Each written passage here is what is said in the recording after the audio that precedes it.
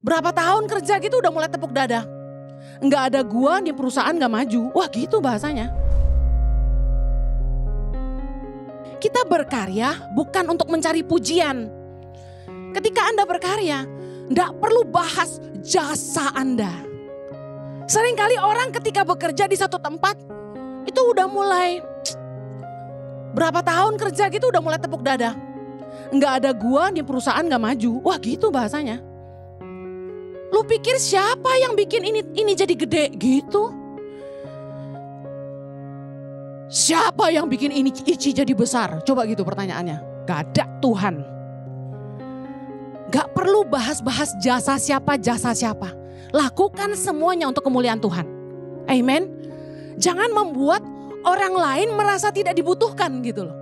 Ketika di sebuah perusahaan, Anda bilang sama teman-temanmu, nggak ada gue nih, perusahaan ini nggak maju. Lo lihat tuh bos kita kayak begitu, nggak ada gue mana jalan. Lo Anda sedang mengecilkan yang lain. Jadi cuma karena Anda, bukan karena mereka juga. Kita berkarya bersama-sama. Tidak perlu menjatuhkan siapa saja. Filipi 2 ayat 3. Dengan tidak mencari kepentingan sendiri atau puji-pujian yang sia-sia. Sebaliknya, sama-sama, hendaklah dengan rendah hati yang seorang menganggap yang lain lebih utama daripada dirinya sendiri. Waktu orang mulai berasa berjasa, dia suka marah.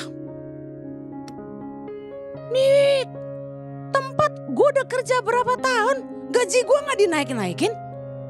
Masa dia baru masuk, gajinya lebih tinggi dari gue? Jabatannya lebih tinggi dari gue? Wah, orang kalau udah mulai merasa berjasa bahasanya udah beda. Mulai bilang gua-gua. Karena gua gitu kan ya. Kenapa dia? Kenapa gak gua gitu udah. Ingat, peninggian datang dari Tuhan. Kita berkarya bukan untuk dipuji orang. Ibadah Gereja Impact Community Indonesia ada di setiap minggu jam 8 pagi, jam 10, jam 12 siang, jam 3 sore, dan jam 5 sore. Setiap ibadah disertai ibadah anak atau Impact Kids dan ibadah remaja. Anda bisa mengajak teman, keluarga, dan relasi untuk ikut beribadah bersama. Dan bagi anak-anak muda, ada Impact Youth jam 5 sore waktu Indonesia Barat di Gereja Impact Community Indonesia.